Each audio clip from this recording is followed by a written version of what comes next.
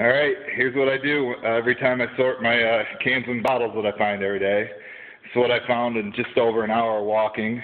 Uh, pretty good, pretty good amount here. I, I would guess there's uh, over 40. Um, but first thing I do is I separate into alcoholic beverages. I put those in front because those are usually the most. And then I put the non-alcoholic in the back.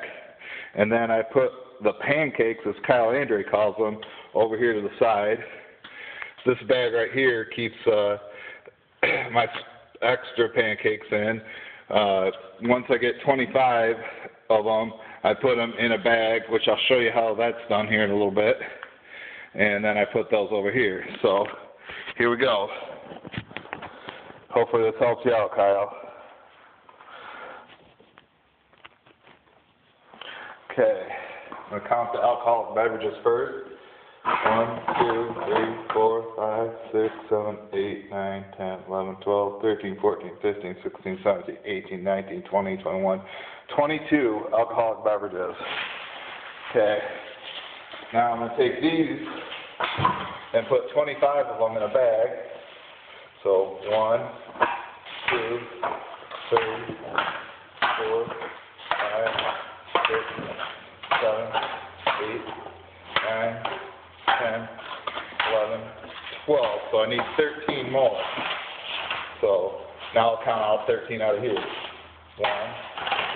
2, 3, 4, 5, 6, 7, 8, 9, 10, 11, 12, 13.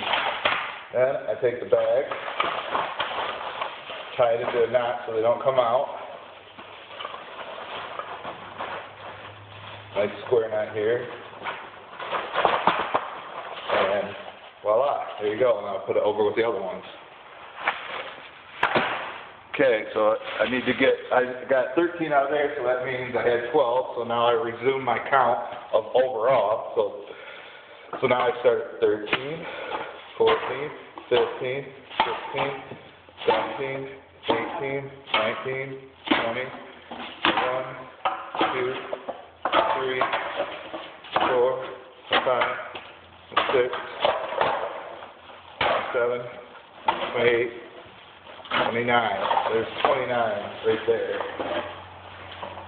And then I put them over here with the other ones I've been finding this week.